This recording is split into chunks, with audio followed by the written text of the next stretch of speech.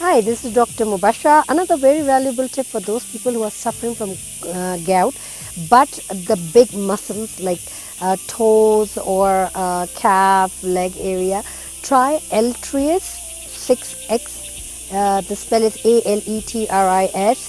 6X is the potency. 30 drops after the meal in half a glass of water.